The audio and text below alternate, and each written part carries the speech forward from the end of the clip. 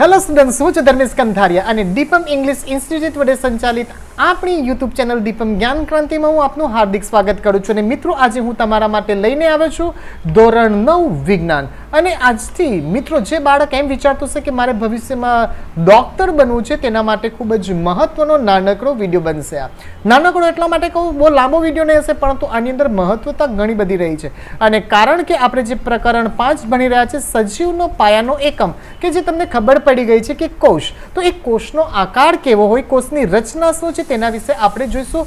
અને આપણો વીડિયો એટલે કે પ્રયોગ સાથેનો વીડિયો અને આપણે પ્રવૃત્તિ પાંચ પોઈન્ટ બે જોઈશું. આજના બીજા ભાગની અંદર આપણે શું જોઈશું? તો કે ભાઈ સરળ સ્નાયુ કોષો રુધિર કોષો ચેતાકોષો અંડકોષ અસ્થિકોષ ચરબીકોષ શુક્રકોષ આ દરેક કોષને આપણે જોઈશું. અને એવું નહીં કે ઇમેજમાં મિત્રો, તમારી ટેક્સ્ટબુકમાં છે. આપણે વીડિયો જોઈશું, આપણે માઇક્રોસ્કોપની હેઠળ જોઈશું. અને તે પણ વન થાઉઝન્ડ એક્સની સાથે કે જેથી તમે વધારે સરળતાથી જોઈ શકો. મિત્રો, જો તમને અમારું કામ પસંદ પડતું હોય, તો પ્લીઝ તેને લાઇક કરો શેર કરો અને આપણી યુટ્યુબ ચેનલ છે, તો પ્લીઝ એને સબસ્ક્રાઈબ તો કરી લો. ઓકે ચાલો મિત્રો, જોઈએ આપણે આ સંરચના શું છે, કોષની રચના. આ જે ભાગ છે, આપણે લાસ્ટ વિડીયોમાં પણ જોયેલો હતો કે દરેક કોષ એક સમાન હોય અને એને કારણે જે પણ કંઈક આકાર બને એક સમાન હોય. ડુંગળી નાની હોય કે ડુંગળી મોટી હોય? પરંતુ એના જે કોષની રચના છે કે જે આપણે માઇક્રોસ્કોપ હેતર જોઈને બતાવ્યો છે, એ દરેકે દરેક કોષની રચના છે એક સમાન છે અને કોષની વચ્ચે હંમેશા કોષ કેન્દ્ર હોય એ આપણે જોયું. અને માં તે દરેકે દરેક નાની ડુંગળી લો, મોટી ડુંગળી લો, કોઈ પણ ડુંગળી લો, એનો દરેકનો કોષ એક સમાન જોવા મળશે, એ એની સંરચના થાય. અને એને કારણે, એક સમાન સંરચનાને કારણે ડુંગળીના કટ સાથે આપણને કોઈ ફેરફાર પડતો નથી. એવી જ રીતે આપણે જે સજીવની વાત કરીએ છીએ ને, ખાસ કરીને આપણે માનવની વાત કરીશું, તો માનવના દરેક પ્રકારના કોષો એક સમાન છે. માતે દરેક માનવીની રચના પણ એક સમાન છે, મિત્રો. અને માતે જ્યારે તમે બાયોલોજી ભણતા હો, ત્યારે દરેકે દરેક જીવની સંરચના એના કોષની રચના તમને ખબર હોવી જોઈએ. ઓકે તો આપણે જોઈશું કે અહીંયા લખ્યું છે ડુંગળીના કદના શલ્કી પણ કે શલ્ક એનો મૂળભૂત એકમ છે, જે આપણે પડ કાઢી હતી. ખબર છે? આપણા લાસ્ટ વિડીયોમાં તમે જોયા હશે, તો પ્રણવભાઈ અને પારુલબેન જે આપણને મદદ કરતા હતા. તો એ જે મૂળભૂત એકમ છે ને, આ જે છે તે સંરચનાઓને, જે સંરચના હતી, એ સંરચનાને કોષ કહેવામાં આવે છે. આવી સંરચના હતી.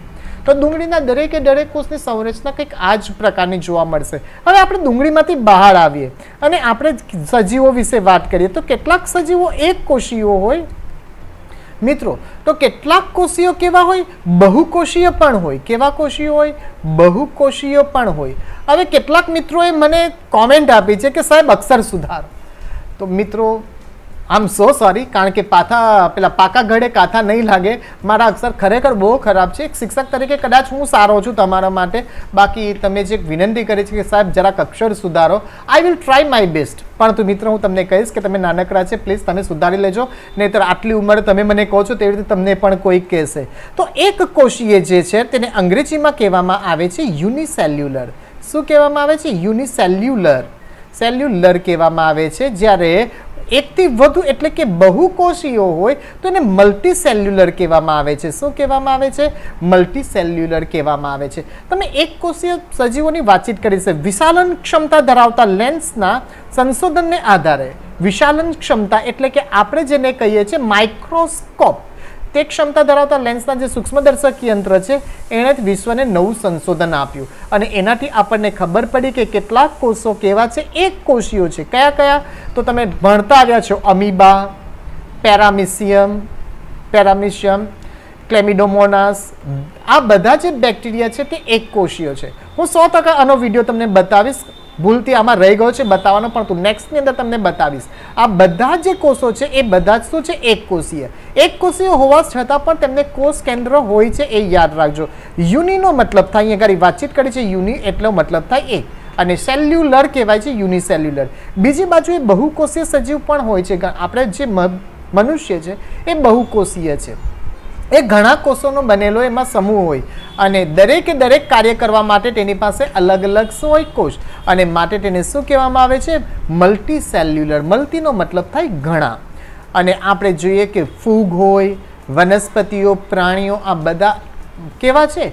તો કે મલ્ટી સેલ્યુલર છે, બહુકોષીય છે. અને એ દરેકે દરેક કોષ અલગ અલગ કામ માટે હોય છે, તે આપણે નેક્સ્ટ સ્લાઇડ ઉપર જોઈએ. અહીંયા આગળ કલરફુલ તમે દેખાય છે, આપણે વીડિયો જોવાના છે, મિત્રો. ભાગી નહીં જતા. તો અહીંયા આગળ પ્રવૃત્તિ પાંચ પોઈન્ટ બેની અંદર કંઈક એ જ વસ્તુ છે. ઓકે તો શું છે? આપણે પર્ણની વાતચીત કરી છે?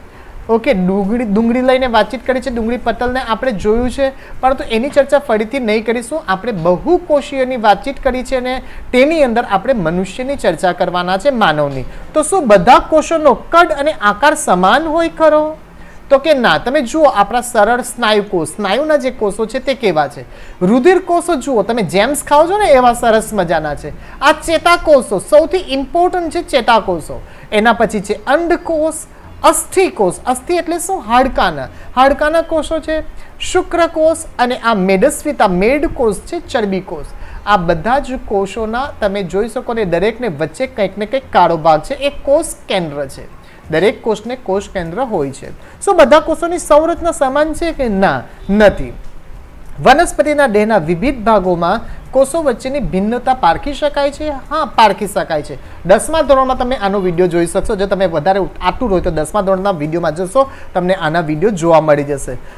હવે આપણે જોઈશું કેટલાક સજીવો વિભિન્ન પ્રકારના કોષો ધરાવે છે. અને આકૃતિ આપણે જોઈએ, હવે માનવ શરીરના કોષોનું આપણે નિરૂપણ કરીએ વિડીયોથી. કારણ કે આપણે વિડીયોથી કરીશું તો જ આઈડિયા આવશે, બાકી ઇમેજથી ખ્યાલ નહીં આવશે. તો પ્લીઝ, હવે જોઈએ આપણે.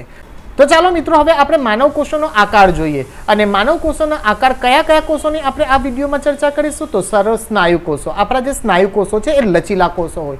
રુધિર કોષ, મેં તમને કીધું ને, સરસ મજાની જેમ્સની ગોળી જેવું લાગે છે, એ રુધિર કોષ. ચેતાકોષો સૌથી મહત્વનો જો કોષ હોય તે ચેતાકોષ છે.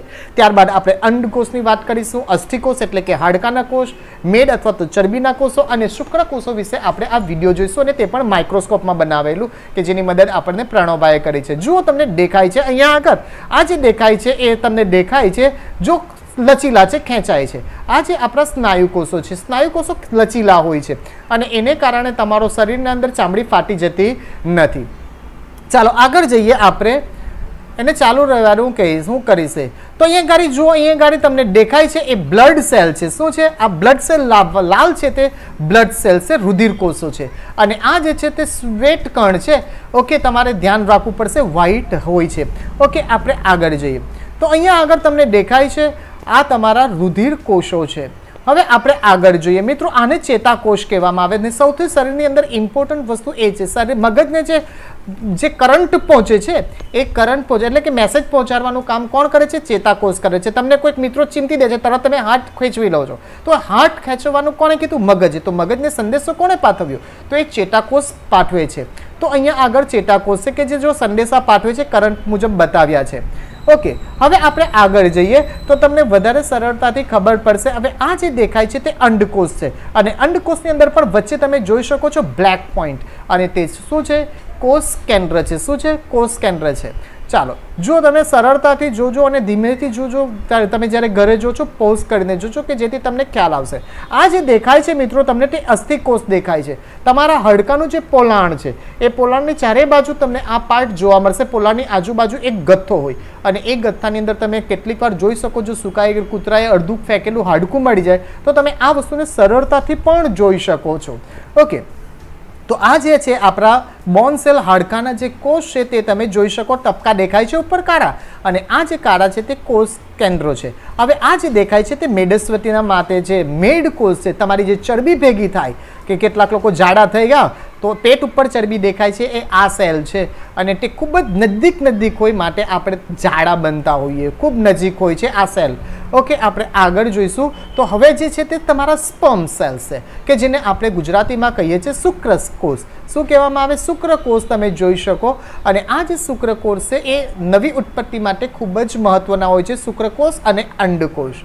ઓકે, મિત્રો, તમે જોઈ શકો, આવો ઇમેજ તમને તમારી ટેક્સ્ટ બુકમાં મળેલ છે. પ્લીઝ પ્લે રાખજો હવે.